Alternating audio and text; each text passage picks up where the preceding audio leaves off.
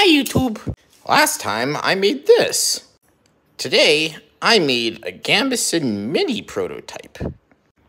Sleeve one, sleeve two, open, close.